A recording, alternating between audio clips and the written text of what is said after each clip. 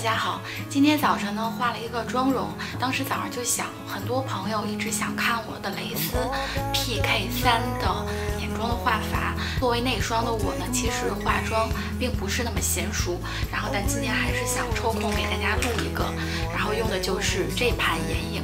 如果你们感兴趣的话，就看下去吧。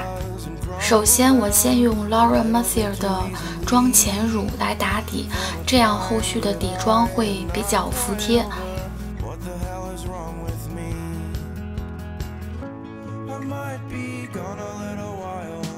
今天用的粉底是 Charlotte Tilbury 的粉底液，非常的轻薄，很水润，可以用手推开，也可以用上妆工具。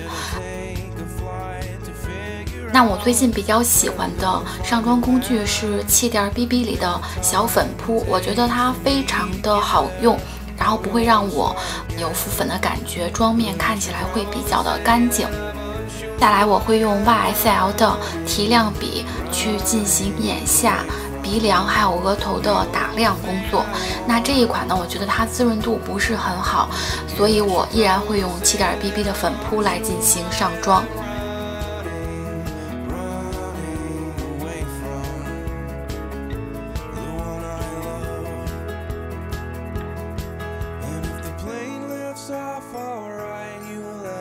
定妆我依然用的是 Make Up Forever 的这一款，我觉得控油力度还不错。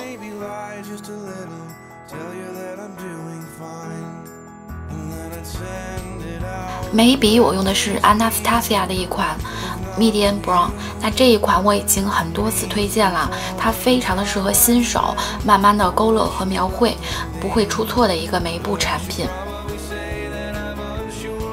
为了让眉部看起来更加的自然呢，我会用 Kate 的眉粉再继续的填充我的眉心部分。最后呢，会选 Kiss Me 的这个染眉膏，把我的眉毛染得更加自然一些。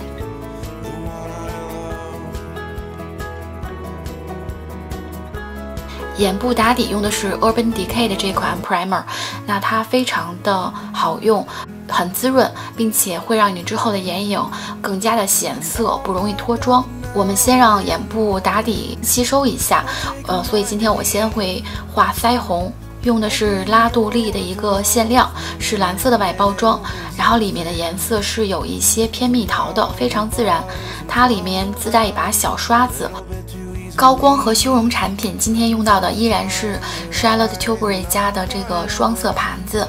那这款高光非常的漂亮，是那种不太低调，但是微闪，非常有欧美的光泽感的一个产品。那我会在脸颊、还有鼻头、嘴唇上都做一个提亮，用它提亮你的嘴唇，会让你的唇部看起来更加的饱满。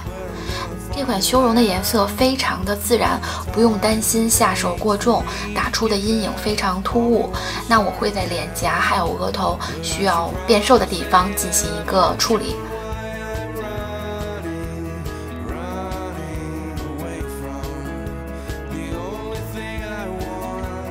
接下来就是蕾丝 PK 三的一个画法了。那我首先会蘸取的右上角这个非常浅的橘色，那它是有一些闪的，打亮我的整个眼窝。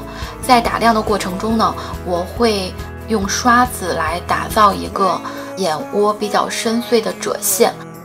接下来蘸取右下角的棕色去画眼线位置，这是一个非常漂亮的棕色。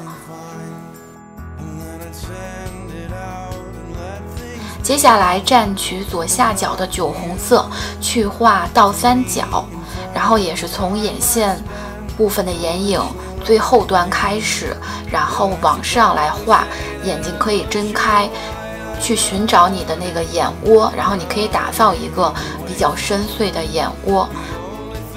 之后呢，会看起来有些突兀，不用担心，我们会选一把晕染刷对眼部进行一个。晕染，这样的话，你的眼妆就会看起来非常的自然。最后呢，我还会蘸取右下角的棕色，去画我的下眼睑后三分之一处。那我只会轻微的带过。很久没有画卧蚕了，那今天就用 Laura Mercier 的一款非常浅的粉色，在卧蚕进行一个打亮。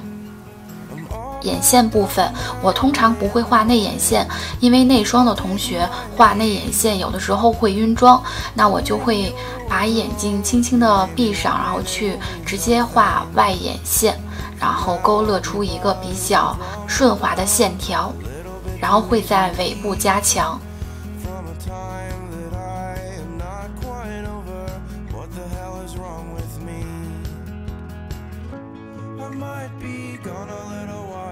哎，接下来就是唇膏部分啦。